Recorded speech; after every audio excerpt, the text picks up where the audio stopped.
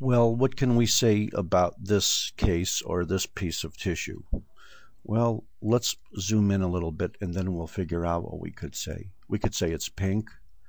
We could say we see a lot of blood vessels. Looks like some of those areas are thick and perhaps fibrotic. If we were nice detectives, we could also say that it looks like at one edge there's some normal lung because I can see some alveoli here and vessels and anthracotic uh, macrophages within uh, perhaps pleura. But then we see, we don't know whether it's part of the lung or perhaps underneath the lung, like a diaphragm, that this tissue underneath here has a lot of various features. Uh, first feature is that there's a lot of blood vessels. The second feature is that if you look very closely, you see that there are dark, irregular, haphazardly growing cells.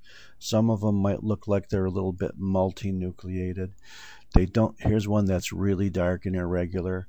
Here's a couple that are really dark and irregular. By now, you should suspect that this is a malignancy because it is. And by now, because many of these cells look sort of spindly or like connective tissue cells rather than like epithelial cells, you might suspect that maybe this was a, a sarcoma malignancy rather than a carcinoma malignancy. Here's either a multinucleated cell or a cell with uh, several irregular bizarre nuclei, as is this one.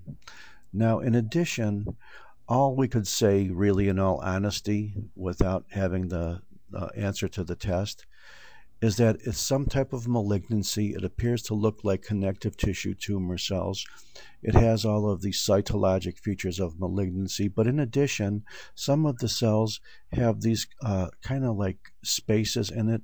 They almost look like little adipose cells, and perhaps, for example, if we did a regular neutral fat stain, like an oil red.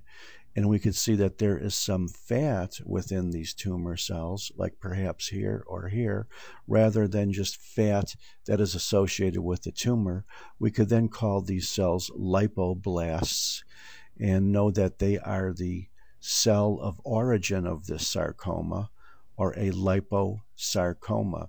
This could very easily be a lipoblast because it's a malignant looking cell and it's surrounded by a washed out uh, are encircled by washed out material, which could represent fat.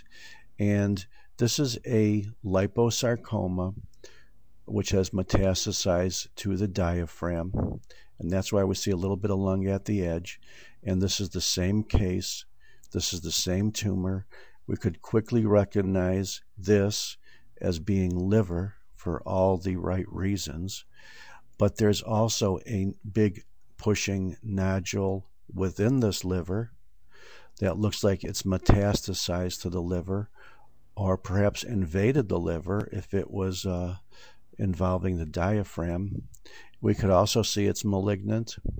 We can also see bizarre, sometimes multinucleated cells. And uh, we could perhaps wonder if some of this clear space around tumor cells might have represented fat. And if it did, then we know that if it's technically within the fat of the tumor cell, we could call it a lipoblast and uh, absolutely validate our uh, impression that this is a metastatic liposarcoma or malignancy of adipose tissue. Thank you very much.